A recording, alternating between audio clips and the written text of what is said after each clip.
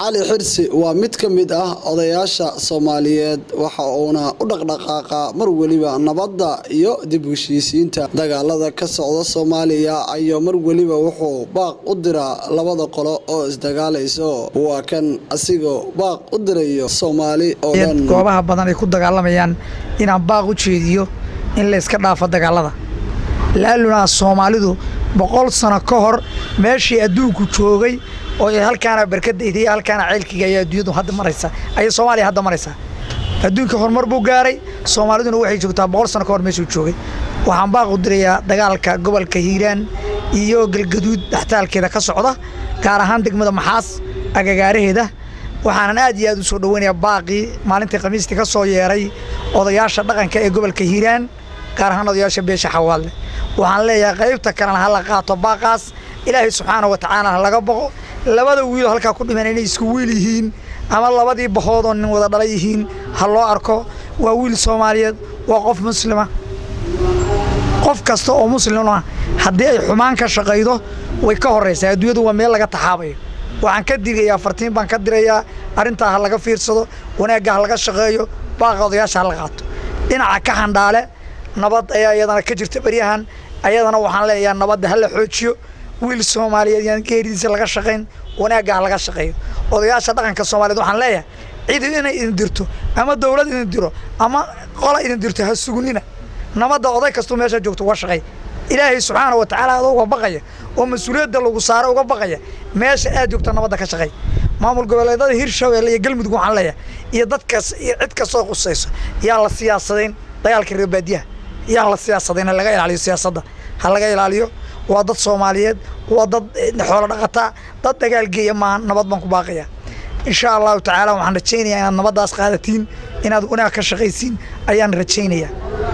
Waxaan kaloo rabaa inaan aad iyo aad u soo doorashada puntland. Waxaan leeyahy reer puntlandu doorta nin puntland hogaamin kara soomaalina anfacaya. Dhammaan soomaalidu meel kastoo joogto waxaan leeyahay nabad qaata garbaha isqabsada wanaag ka shaqeeya. Xumaanta ka fogaada. Xumaanta ka fogaada.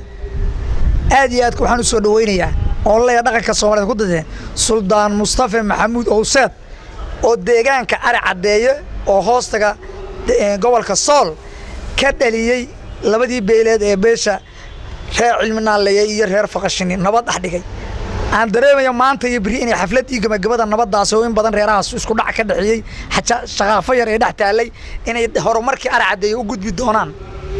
Aan rajaynaya aracadkii roomcadowgada mustafa waxaan leeyahay dhaqanka soomaaliyeed. Mustafa ha ku daydeen. Mustafa waxaan leeyahay ajirka iyo xasanaad allah kaa siiyo miisaadka xasanaadkana allah kugu daro. Aad iyo aadan kugu hambalyanaya tahay maantay waa xagga dhaqanka dhaqankii iyo siyaasaddii la kala qowa odayaasha dhaqanka waxaan leeyahay dhaqankiini ku noqda geedkii soomaaliya firsi jirta ku noqda odayaasha taageeraya reeraha kala taageeraya ama urur ama taageeraya ku hadlaya siyaasadda ama qaybaha siyaasadda kala raacaya ha ka jooga baan leeyahay. Ha ka shaqeeya dhaqanka wanaagga. Mucaarad iyo muxaafadba oday baad u taha waa inaad garataa sidaas waxaa taa oda soomaaliyeed waxaa taa qof adduunkan ka tegaysa waxaa taa qof la xisaabinaya. Waxaa taa qof laga raba inuu wanaag dadka farto oo mukorka ka reebto macruufkana farto. Marka waa in odayaashii ay u kacaan oy nabadda ka shaqeeyaan meel kastana nabad laan ku baaqaya waan gartay waxaa rabaa inaan ka hadasho arrintii hirshabelle oo ku saabsaneed odayaal ka mid a odayaasha dega beledweyne waxay ku eedeeyeen hirshabelle inay weerar ay ku tahay dhankooda bal ka warra arrintaas wax kasta oo eedayn iyo in qof wax laga sheega soomaaliya kenya hadduu qaldan yahay xataa. Wax oday dhaqan ku habboon maaha. Odayaasha dhaqanka waxaan leeyahay wax kastoo qaldan oday baad u tihin ninka wanaagsan oday uma tihin ninka xun baad oday u tihin. Ilaahay subxaana wa tacaala idinku uga baqaya qofka markii laga hadlayo ama tiifiyada laga hadlama idacadaha laga hadlayo si asluubays nabad baan ugu baaqaya qof kasta oo soomaaliya meel joogta waxaan ugu baaqayaa nabad waxaan u sheegayaa madaxda soomaalida meel kasta ay joogaan iyo dunida meel kasta ay kaga nool yihiin cid kasta waa lala xisaabtami doonaa. Ama aakhira la xisaabinaya ama adduunkaa lagula xisaabtami doonaa. Na qof walba wanaag ka shaqeey waxaan ugu baaqayaa nabad.